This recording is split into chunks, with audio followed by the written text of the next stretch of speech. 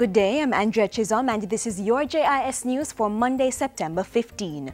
The legal and regulatory changes to develop Jamaica's venture capital industry should be implemented during the next fiscal year. Finance Minister Dr. Peter Phillips made the disclosure last week during the second annual Venture Capital Conference hosted by the Development Bank of Jamaica. He said a panel of investors was organized to provide expert advice and a toolkit was being developed by legal advisors. Which will provide access for all stakeholders to the standardized documents and the guidance as to the international best practices to be followed in undertaking venture capital transactions. The Jamaica Venture Capital Fund will provide equity financing to small and medium-sized enterprises so they can grow and develop. The second annual Venture Capital Conference was held under the theme Towards a Dynamic Ecosystem, Linking Capital, Innovation and Entrepreneurship for Growth. Government is moving to strengthen the country's forensic capabilities through a merger of the Forensic Laboratory and the Legal Medicine Unit. They will form the Institute of Forensic Science. National Security Minister Peter Bunting said the institute, which should be finalized in the next fiscal year, would report to his ministry. We think it's not just important for it to be an independent investigative uh, institute, but also that it be perceived as that and that the influence of the uh, JCF will not be any greater than any of its other stakeholders. Minister Bunting was speaking at the official handing over of ballistics comparison microscopes and DNA kits to the forensic laboratory by the United States Embassy. He said the equipment will help to strengthen the capacity of law enforcers to effectively fight crime. JCF personnel who are assigned to the laboratory will also be able to take up secondments at the institute with the option of becoming full-time staff or returning to the police force. Students of Salt Savannah Primary and Infant School in Southeast Clarendon are the first to receive tablet computers under the Tablets in Schools pilot project. During the distribution process, parents and guardians had to sign an agreement which outlined how the devices should be handled.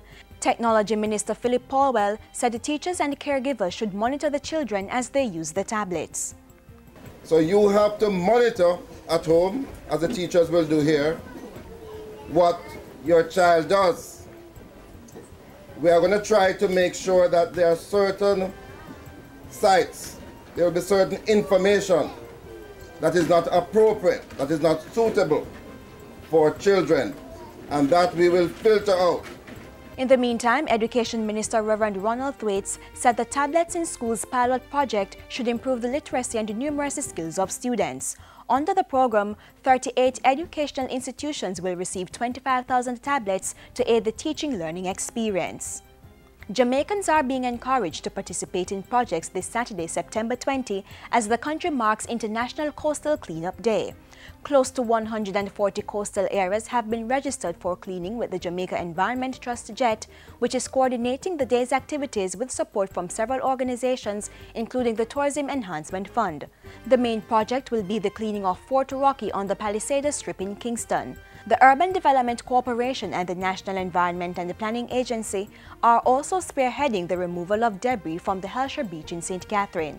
We're inviting everyone to come out because we recognize that this may be the only way we can teach the public about why it's very important to dispose of their garbage properly. Um, improper disposal of garbage cause our wildlife to die. Persons wishing to participate in International Coastal Cleanup Day can register at jamentrust.org. And finally, thousands of mourners flocked the St. George's Church in Savlamar, Westmoreland on the weekend to pay their final respects to the late Agriculture and Fisheries Minister Roger Clarke.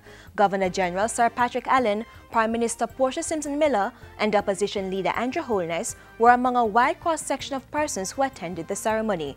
The official funeral began with several moving tributes. A man with an undying love for Jamaica champion farmer, special person, an example to politicians, a giant of a man, an affable leader, a gentle giant, a colorful politician, a man for all seasons, a phenomenal Jamaican patriot. The cabinet has lost the wisdom of one who fully understood the psyche of the common man.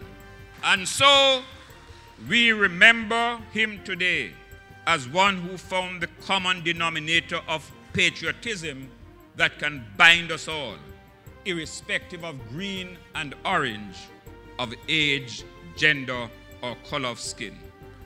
Roger Clarke, as far as I am concerned, was the manifestation of what we mean by brand Jamaica.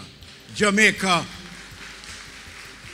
Jamaica was reflected in all of the style and content of Roger Clarke's life.